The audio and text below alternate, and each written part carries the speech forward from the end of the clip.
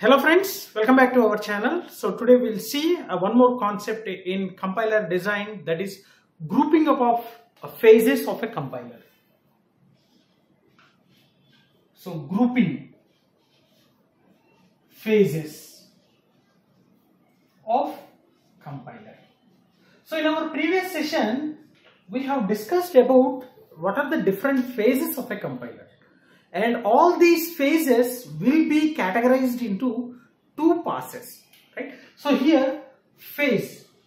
We are talking about the two different terms. One is a phase which are nothing but a units or stages that a program runs during compilation so whenever we compile a program, whenever we compile a program, so that particular unit or a stages, that means the program, the source code will be running towards a different stages, right? So we have seen the, uh, six main phases. One is a lexical analyzer, uh, syntax analyzer, semantic analyzer, intermediate code generator, and a code optimizer and the target code generator. So these are the six different phases where the source program will be uh, converted to a machine code, right? So next we are grouping all these six phases into different passes. So we are calling it as a passes. What are by passes? So how many times, how many times the program so here the program means a source code. The program compiles or runs. Okay. So how many times the compiler runs the source program? So these are the passes and these are the phases. So here we are having six phases. Six phases. So we named it as a lexical analyzer syntax analyzer, semantic analyzer, intermediate code generator, code optimizer and uh, target code generator. So six phases. And here passes means we are reducing the compilation, compilation time. So these are of two types. Two types. So one is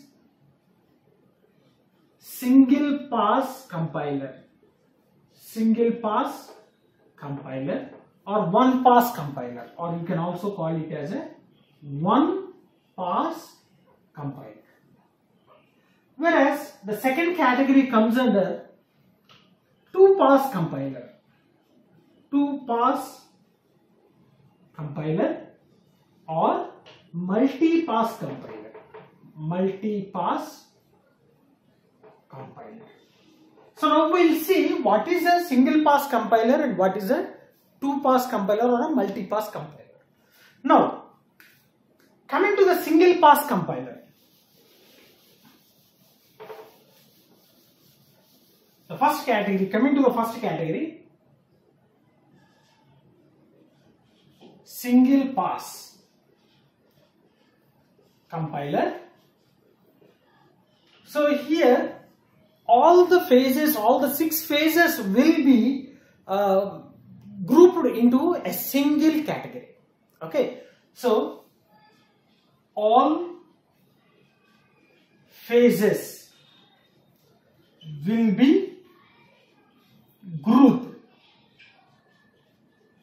into single category in a single form, right? So whenever we give the source program, whenever we give the source code, first a lexical analyzer, it, the source code will be given to the lexical analyzer, lexical analyzer and from that it will go with the syntax analyzer. From that it will go with the semantic analyzer.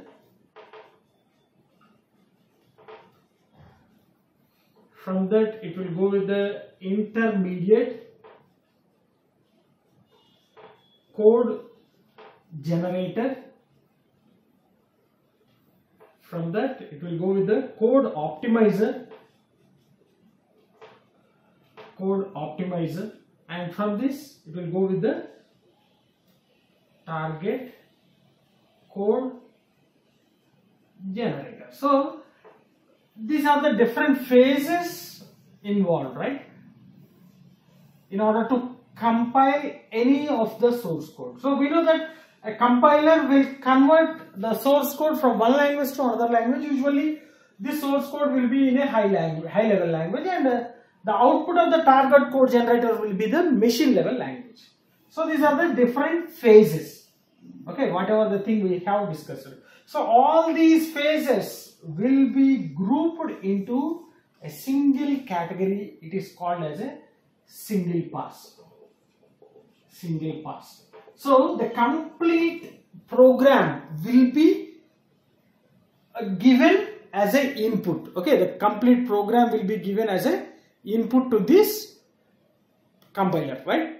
Say this one pass compiler right so that is a single pass only one time the complete program will be given a single single time right so uh, every line of the code will be executing in all these phases different phases so what will be the output of each phase i have explained in our first session so different phases of uh, uh, this compiler, right? So I'll post the link in the description. So just go through that link. Now coming to the multi-pass. Multi-pass or we are simply saying it as a two-pass. So the name itself indicates here all the phases will be grouped into two categories.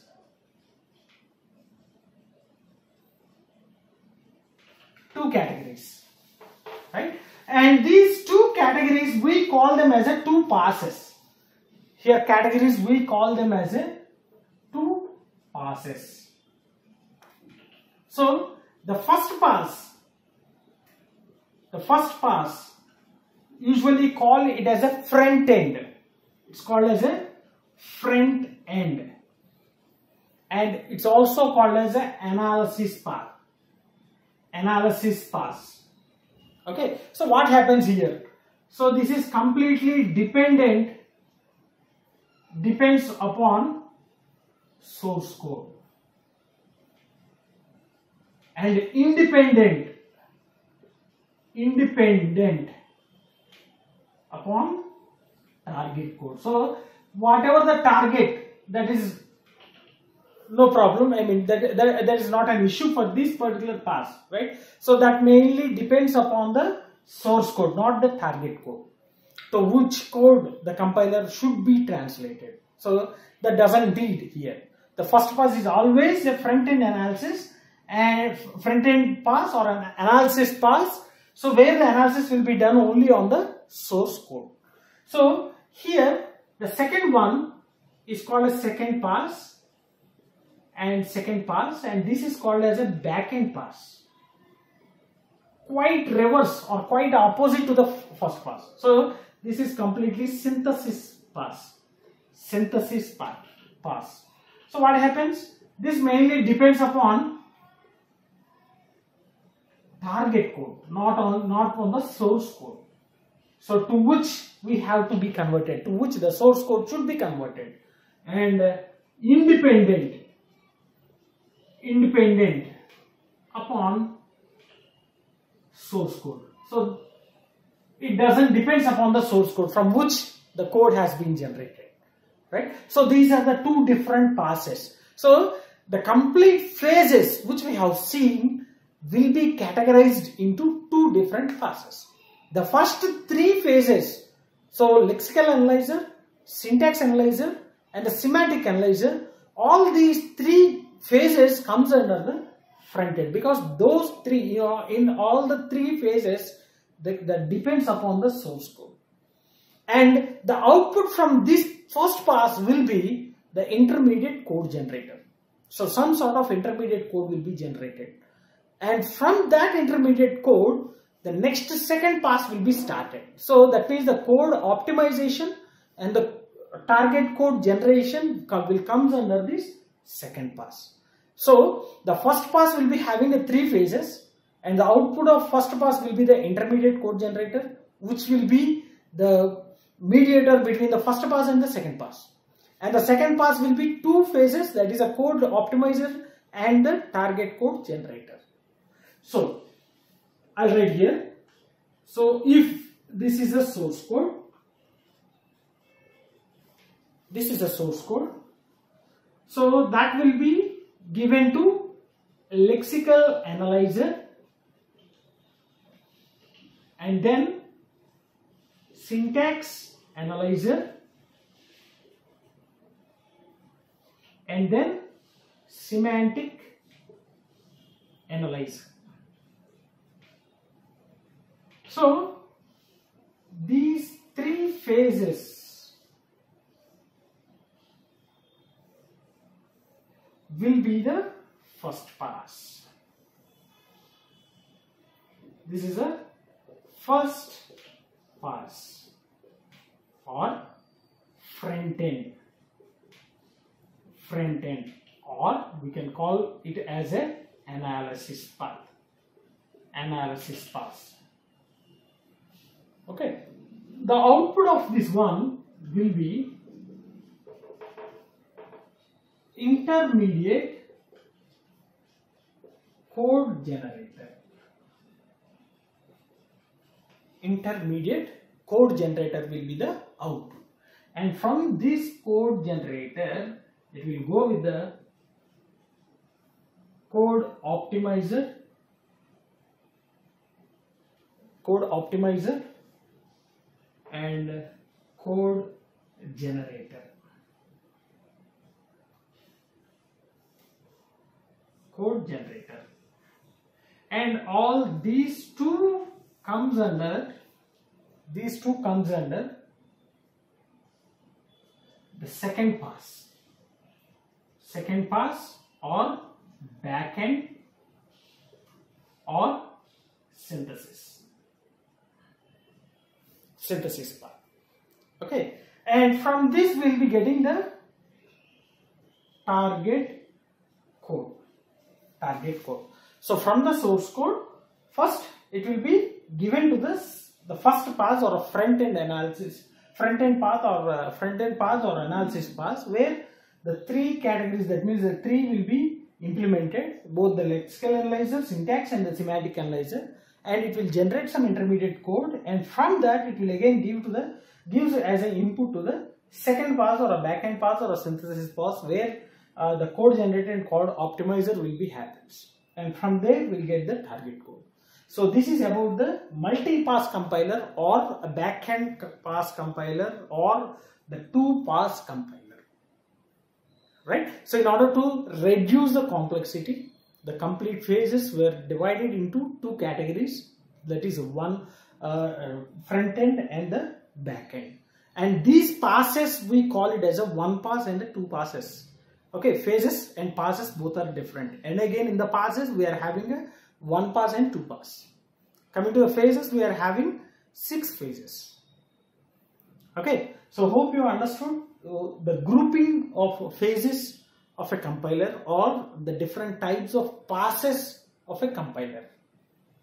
Right? So let's stop here and if you are having any queries you can feel free to post your doubts in the comment section. Uh, definitely i will try to clarify all your doubts. And if you really enjoyed my session like my session share my session with your friends and don't forget to subscribe to our channel. Thanks for watching. Thank you very much